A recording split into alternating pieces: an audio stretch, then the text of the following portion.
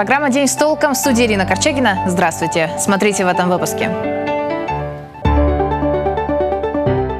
Обманутые и бездомные. Почему долгострой на Ленинском проспекте стал проблемой нескольких сотен дольщиков?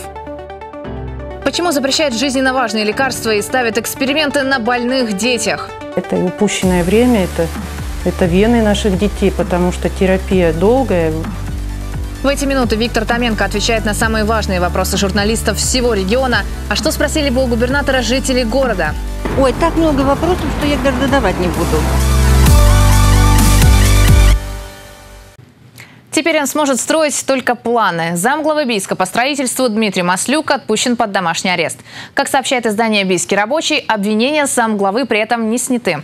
Напомним, с 20 ноября чиновник находился в СИЗО. Его подозревают в превышении полномочий. Все дело в домах на улице Спекова. Их построили в рамках программы переселения. Но сразу после сдачи в эксплуатации нашли множество нарушений, в том числе и превышение предельно допустимых норм фенола и формальдегида. Эти вещества крайне опасны для здоровья. Уголовное дело в отношении чиновника Бийской мэрии продолжается. Еще одна странная история со строительством дома, на этот раз в Барнауле. Обманутые дольщики и затянутое строительство. В доме на Ленина 195А собственники не могут получить ключи от готовых квартир. В чем причина и кто виновник постоянного переноса, узнал Андрей Дрейер. Молодую семью в новый дом. Анна с дочкой и мужем рады квартире на проспекте Ленина 195А. Так выглядел бы наш сюжет, если бы это была реклама застройщика в 2018 году, когда по изначальному договору должны были сдать дом. Но сейчас уже конец 2019 -го. На экранах съемка октября. Так долго мы ждали ответов от официальных инстанций, но с терпением дольщиков ничто не сравнится по договору процент, насколько уже дольщики заплатили за свои квартиры? Сто процентов. Все дольщики рассчитали за квартиры, ну, кто-то в 2015 году, кто-то в 2016. То есть, когда заключался договор, обязательное условие – это стопроцентная оплата. Ну, максимум 2-3 человека работают на стройке. 16-этажный дом, работает здесь, ну, как бы бригаде из 50 человек, но делаем месяца 3.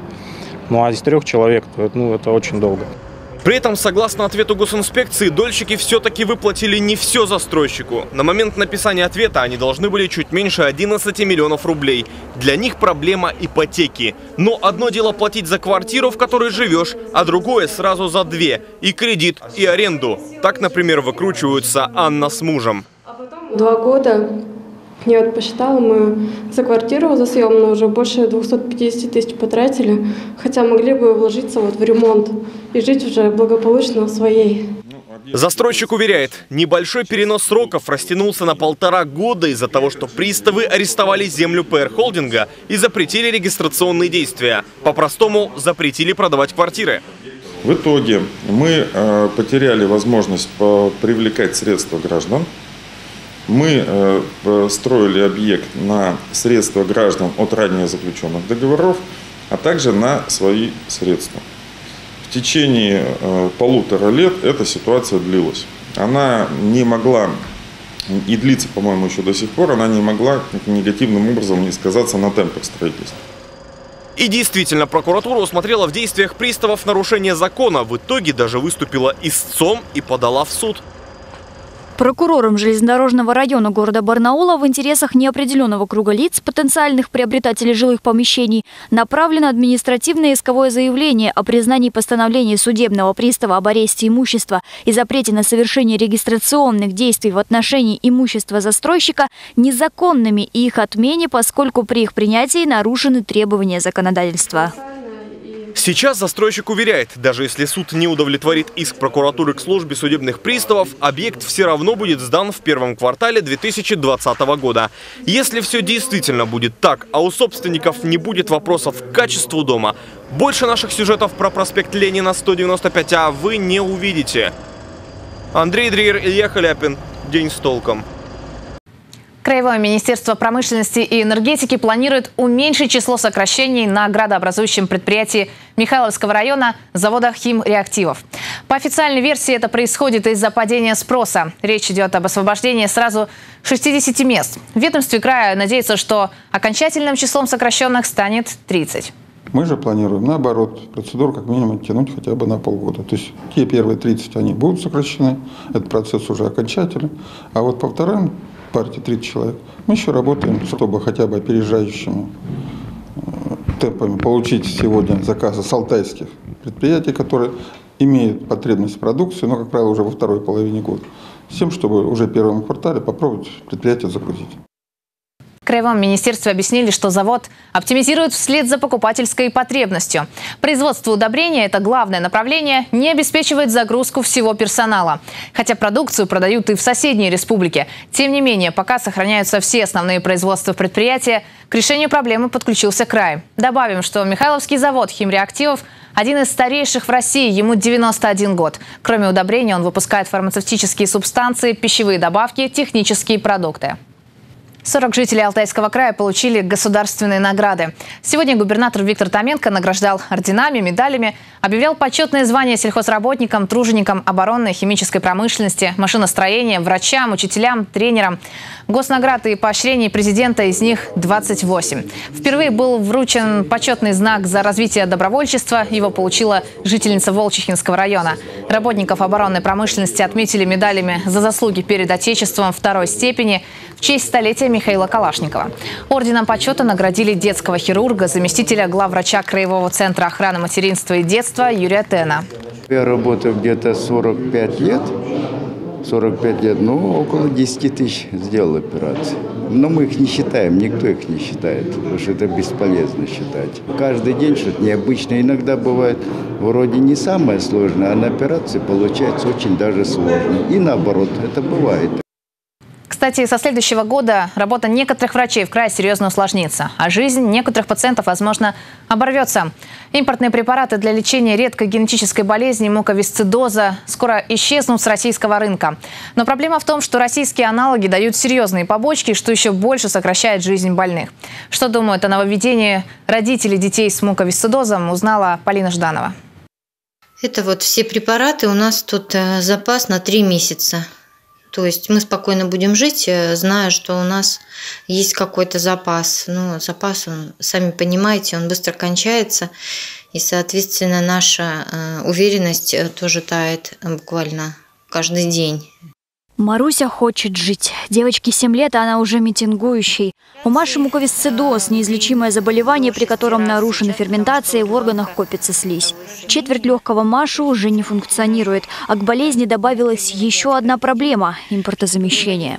В Россию уходят важные препараты, проверенные на таких больных, которые действительно помогают, которые лечат дают им силы жить дальше и развиваться, и быть полноценными членами нашего общества.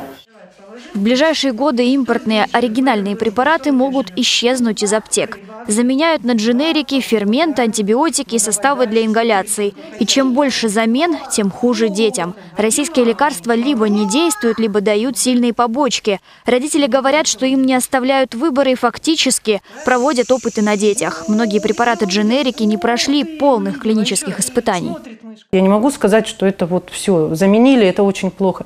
Есть дети, которые принимают эрмитали, которые как бы прибавляют вес, то есть у них нету тех реакций нежелательных. Используем один дженерик, он не помогает, давайте другой используй. А это и упущенное время, это, это вены наших детей, потому что терапия долгая, дозы высокие антибиотиков, это и здоровье опять же. Среднестатистический ребенок с муковисцидозом принимает минимум 20 капсул только одного препарата. То есть упаковки хватает на 2-3 дня. При этом стоимость импортных лекарств за пачку больше стоимости отечественных примерно на 200 рублей. Разница не заоблачная, но экономия превыше всего. С позиции чиновников перестать закупать зарубежные препараты не согласны и врачи.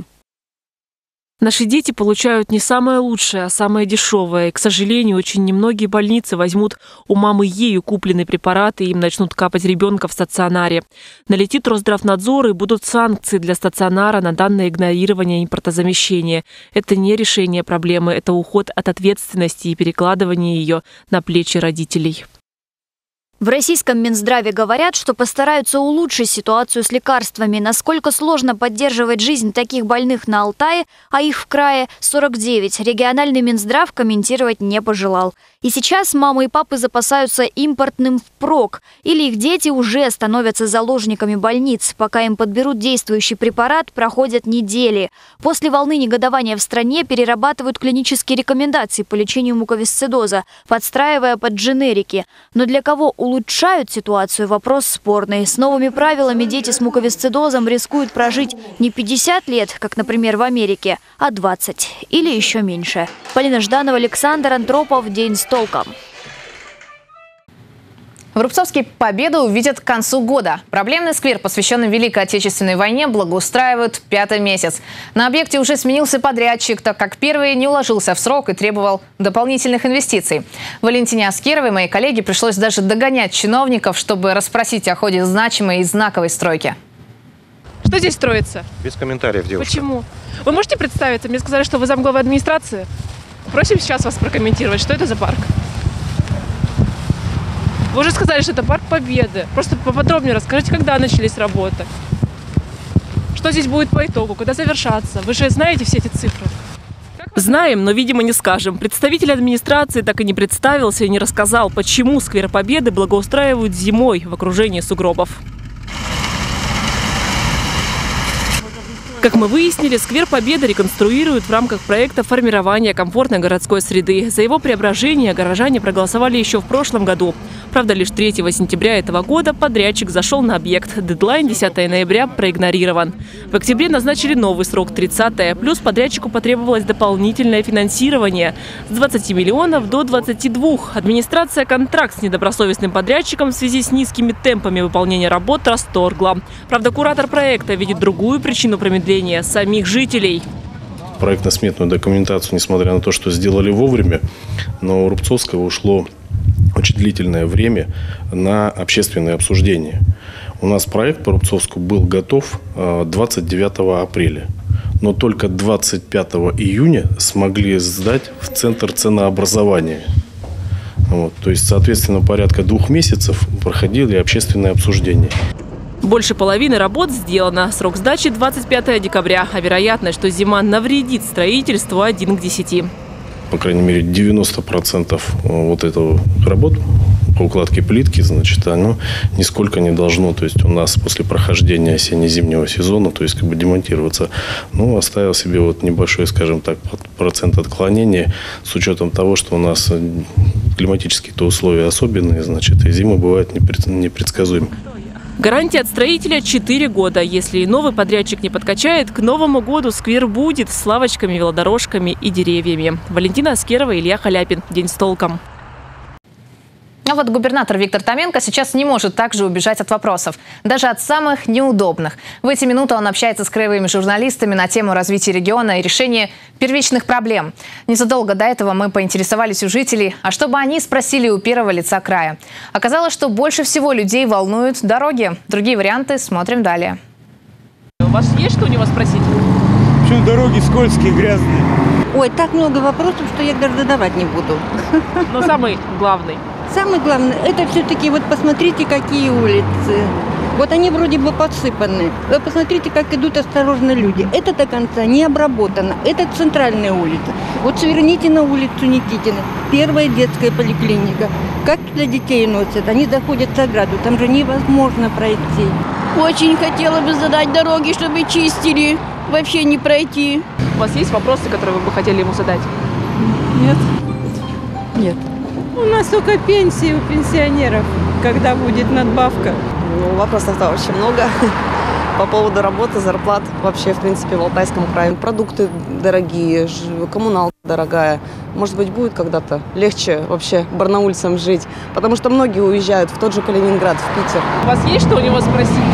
Нет. Как он живет? Спасибо. Хотите ему задать какой-нибудь вопрос? Главный. Главный. Когда у нас в крае будет все хорошо? Через несколько секунд о погоде спонсор прогноза – компания «Эвалар». Подписывайтесь на наш канал в соцсетях и хороших вам новостей.